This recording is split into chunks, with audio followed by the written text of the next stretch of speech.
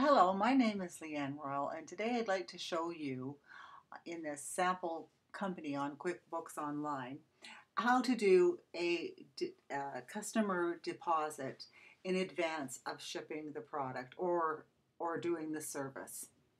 Uh, there's several steps to doing this, so I'll go through them. The first thing that you would have to do is to look to see if you have a chart of account items under liabilities called customer deposits.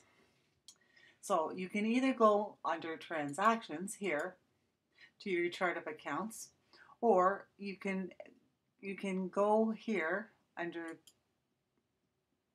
sorry, yes, here under the gear icon to chart of accounts. Okay, so there's two ways to get there. So I just happen to know that there is not a liability account called customer deposits. So we're going to make a new one. Okay, so this will be a other current liabilities because that's all that we have to pick from here. So, okay, we'll just call this other current liabilities and the type will be this actually is a unearned revenue. Um, I'm just looking at the type that would be best for this.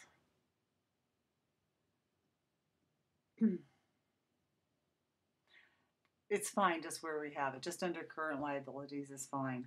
Um, okay, and then we would call this customer deposits.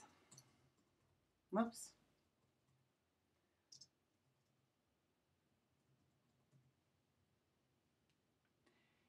And the tax code, because this is just going to be a deposit, is we'll just make it uh, exempt. And that's it, save and close.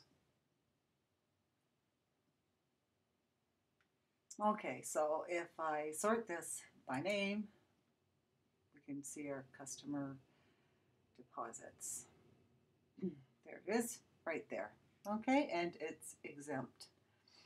So now I'm going to uh, pick a customer, go and find a customer. This is a sample account. Okay, we'll just use Adwin Cole.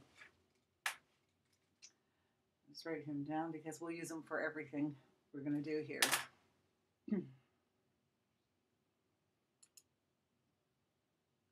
So what I want to do now is I want to do an estimate because when a customer is paying something in advance, uh, they would like to know approximately how much it's going to cost because just say you're asking for half of the money up front they just want something that they can pay from.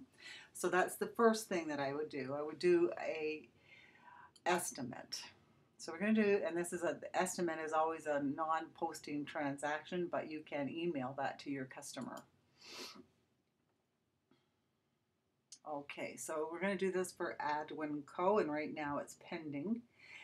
Uh, and once they accept it, they will accept it and they will um, they will say accepted and the date and their initials and then then we can uh, do the invoice for it. so we're going to do the product here can be, I'm actually going to make an inventory product which name badges are. So I don't know, let's do like 5,000 of them or something. 500. That's 1,000.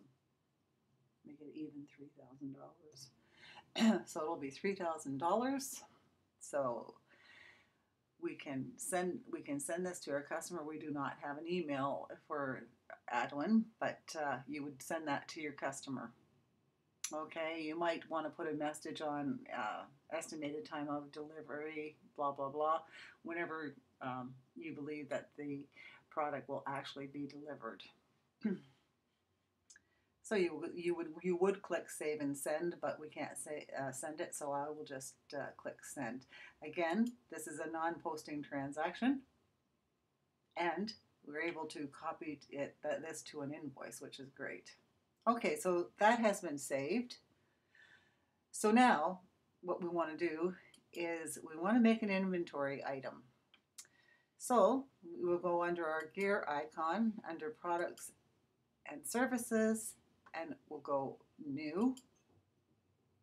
And what we want to do is we want to make it a service inventory item. And we're going to call it customer deposits. Oh, I'm not going to bother putting it under a category right now. This is just uh, just to show you how to do this. Uh, I'm not going to put a description in here because you will put your own description on it when you when you do the deposits. There's not going to be tax on here. It will be exempt or zero rated, exempt, and we don't need any purchasing information. Okay, so it has to, it will be a service item, and the income account is not going to be services.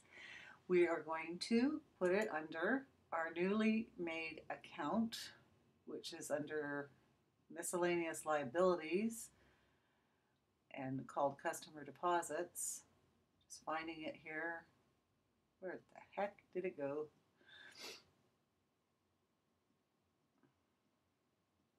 If I go buy this again. Not miscellaneous, it's other current other current liabilities. So there's customer deposit. So that's where we want to put that. So the, the customer deposit current liability actually you might say it's unearned revenue. Okay, and then when we would save it and close this, okay, we're going to go back over to customers, and now we're going to make an invoice for Adwin.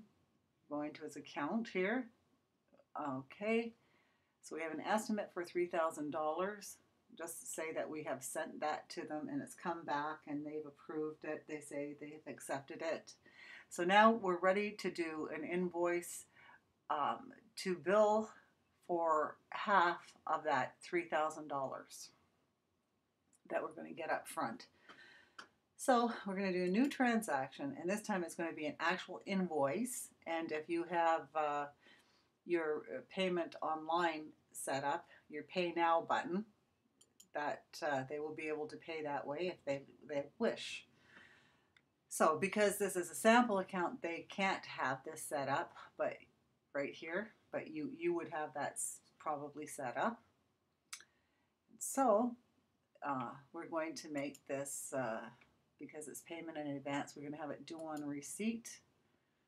Uh, just say it was a day after we did the, or two days after we did the other one for the estimate, where they finally accepted it and that. Whoops. The due date's going to be the 10th too. I mean, it should have automatically put it in there, except I typed something there. Okay, there you can see the estimate. We don't need that right now. But we, we will need it when we finally finish the the invoice with the amount of their payment up front off their customer deposit. So the product is going to be our new product that we put in here, customer deposits. And we'll just put uh, deposit deposit for half for yes half of uh, of the total. I don't know what to say. total of estimate number 1005. You can see on the right that's our estimate that we did. So um, before tax that was uh, $3,000. So we just quantity one. It's just a, this is just like a service. It's not a inventory. It's just service. So it doesn't matter. It's not keeping track of uh, inventory. Um, so quantity one, and we'll make it $1,500. and it's going to be tax exempt because we're just uh, we just want payment from them. Okay, so now we'll just go in and we can accept that. We can, I mean, sorry, we can save that. Actually, we would normally save that and send and email that, but we can't because, again, this is this is a sample account. So we'll just pretend that it isn't. we'll pretend that the customer's got this. So we're saving it now. Okay, that's been saved. So the last thing that we're going to do here is we're going to do an invoice. No, sorry. That's not the last thing that we're going to do. We're going to do a delayed credit, which, okay, I'll show you what will happen. We're going to do a delayed credit or delayed, just a minute, delayed, where's the delayed credit? There we go. Okay. Delayed credit. we'll choose customer again. Adwin Co. And the product is going to be, this is because they have, well, we're saying that they have paid that invoice that we just did for $1,500, half of the invoice up front. Okay, so that we're saying that that's been paid actually hasn't here, but we're, we're saying that it has. So we'll put it under customer deposits. And I'm just going to say, because this is going to go on our invoice, and the bottom of our invoice is a credit, I'm just going to put uh, less deposit received on, I don't know, I think we did this for March 10th, 2017. and I'm just going to manually put this in. So the deposit was $1,500 and it will be exempt. You can make a class if you've got classes here too. And we will save it. And we do not, uh, this is a delayed credit, so it does not go to the customer. So we're just going to save and close that one.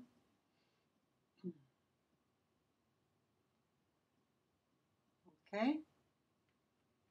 So now, what we want to do is we want to do, we want to turn this invoice, because we can turn this invoice into, we, I mean, sorry, this estimate here for the $3,000, uh, 33.90 with tax, we want to turn the estimate into an invoice. So we're going to start invoice. Okay, and say we shipped this. This will be net 30 days. Uh, you, depending on what your customer is, you can make new terms. It could be net 60 or net 90, whatever. So let's just say we delivered it, say 10.04, like a month later. So now this is when we're billing the total amount less the credit that we just did. Okay, so we're going to add the credit in here. Well, just add it. There we go. So it's taking off that $1,500 and it's charging HST on the total amount of $3,000, which it should do. So we're good to go. We can save and send that now to the customer and the customer can pay the balance of the invoice. I hope I explained that properly. It's uh, kind of hard sometimes when you're sitting here by yourself uh, trying to explain something. So anyway, I hope you found that helpful and have a great day. Bye now.